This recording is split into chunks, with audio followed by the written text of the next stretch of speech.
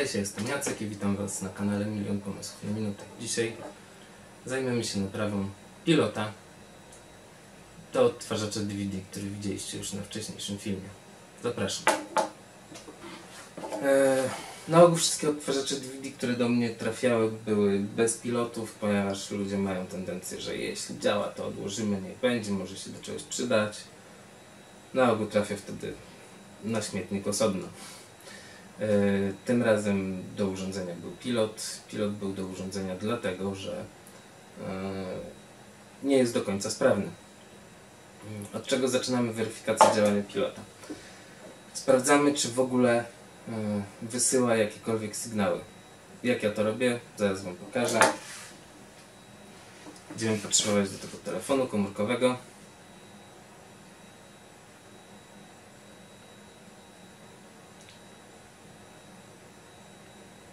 Odpalamy sobie aplikację aparatu.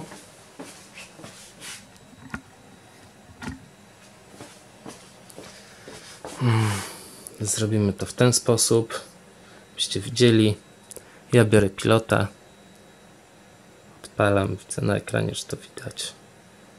Jeśli wciskamy jakikolwiek przycisk, to ta dioda delikatnie sobie pomruguje. Jeśli pomruguje, znaczy, że wysyła sygnał i pilot jest jak najbardziej sprawny. Telefon już nam nie będzie potrzebny. Sprawdzamy poziom naładowania baterii. Jeśli macie coś takiego, to jest tester baterii, możecie go użyć. Jeśli nie, po prostu wymieńcie baterię na inne. Jest to dosyć częstym problemem. Niby się świeci, ale telewizor czy tam inne urządzenie nie zawsze reaguje. Ja mam tester, więc go użyję. To są baterie 3 razy A. E, Jak działa urządzenie? Wkładamy baterię, dociskamy i ta nam, tu nam na wyświetlaczu, zaraz Wam pokażę. Mam nadzieję, że to będzie widać. Widać.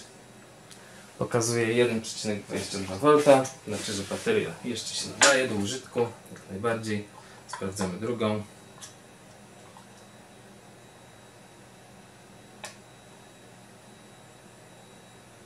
Druga nam pokazuje to samo, dokładnie 1,22 V. Baterie są ok.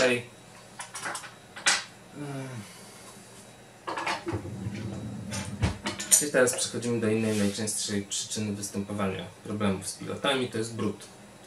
Niestety, choćby nie wiem jak czysto było w domu, dotykając wciskamy tłuszcz po prostu pomiędzy plastik a tą gumę, później ten tłuszcz spod tej gumy dostaje się e, do samych przycisków. Mm. Ja do otwierania używam takiego otwieracza do zegarków albo takich kostek do telefonów komórkowych. Bardzo często też używam zwykłych starych kart. To są akurat obydwie karty telefoniczne, mm, natomiast nadają się do tego karty bankomatowe, różne inne. Dlaczego robię to w ten sposób? No, dlatego, że nie chcę, e, jak już otwieram, nie chcę pokaleczyć po prostu e, tego plastiku. Nie ma tutaj żadnej śrubki. To oznacza, że urządzenie jest zrobione na wcisk. Mm, Spróbujemy je otworzyć, tak żeby nie uszkodzić za mocno. Mm.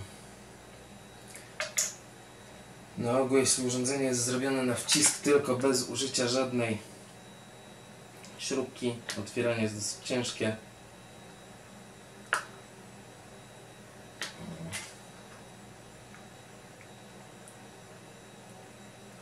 I na ogół kończy się po prostu pokaleczeniem tego plastiku, o którym mówiłem. Tutaj niestety nie chce się to nam tak łatwo otworzyć, jak powinno. Musimy sięgnąć po mocniejsze narzędzie, w tym wypadku płaski śrubokręt.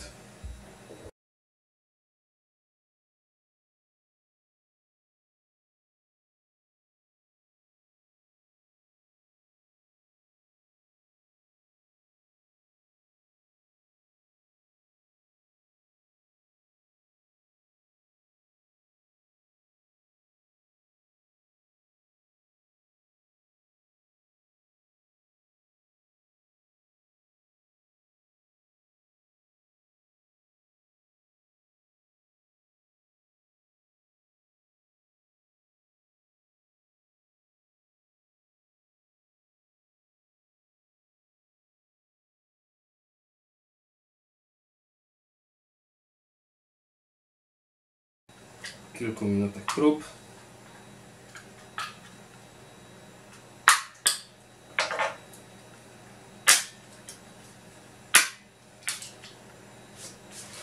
Jak widzicie, trwało to kilka minut. I problem na ogół jest tutaj, pod tą, pomiędzy tą gumką a samą płytką. Co robimy w takiej sytuacji? Zabieramy wszystkie narzędzia, które potrzebowaliśmy. Ja używam, to nie jest reklama, mm, natomiast ja używam chusteczek nawilżanych do łazienki do wykonywania tego typu operacji, generalnie do czyszczenia sprzętów. Ich wadą jest to, że trzeba natychmiast wytrzeć na sucho, bo zostają takie klejące zacieki. Natomiast do czyszczenia samych układów używam coś takiego z Cleanser IPA. Yy, zasadniczo jakikolwiek alkohol będzie dobry. Bierzemy patyczek do uszu.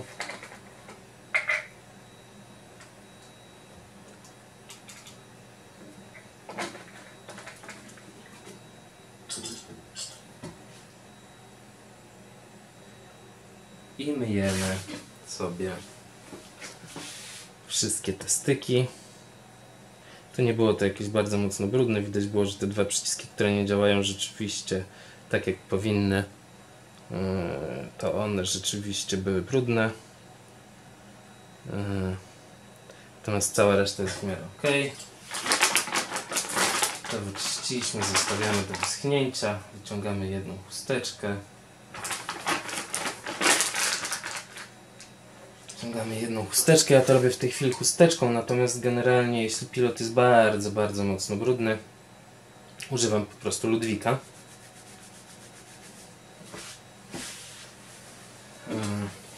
Myję to Ludwikiem, czekam do wyschnięcia. Tutaj, żeby nam się to nie kleiło, weźmy od razu ręcznik papierowy.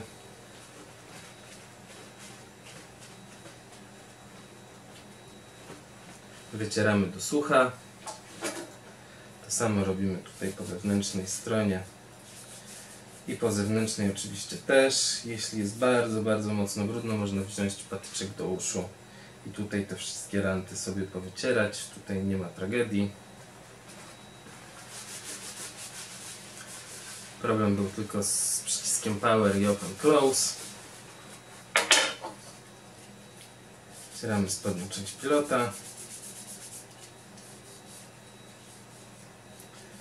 Ponieważ przy otwieraniu zniszczyliśmy trochę krawędź, niestety jeśli nie ma śrubki nie da się tego uniknąć, to ja teraz, żeby to lepiej wyglądało, trochę ją zgraduję.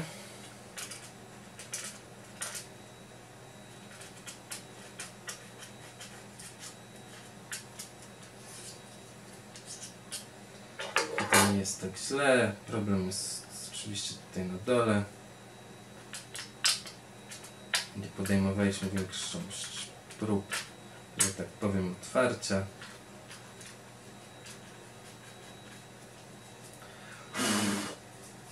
Cieramy wszystko na ładne, czyste i umyte. Składamy do kupy. A jak składamy? A tuż składamy tak.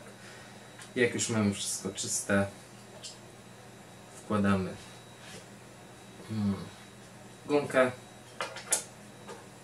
Tutaj zwracając uwagę na to, żeby to zrobić dobrze, staramy się trafić tymi drucikami, które są od, do których dotykają baterie e, w otwory. Udało się. Czy to będzie widać, ale pewnie tak. Następnie składamy na ścisk.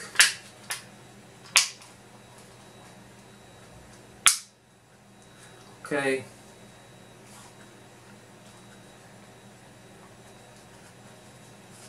Pilot jest wytarty. Bierzemy baterię.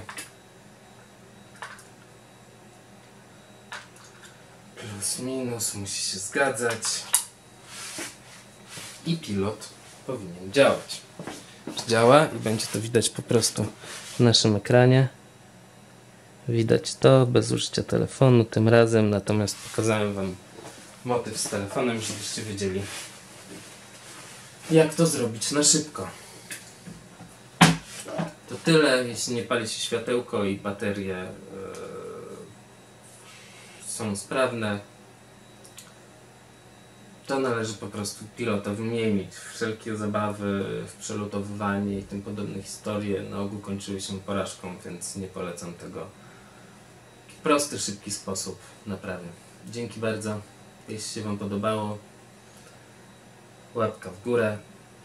Zapraszam na kanał i do oglądania innych filmów. Dzięki bardzo i do zobaczenia.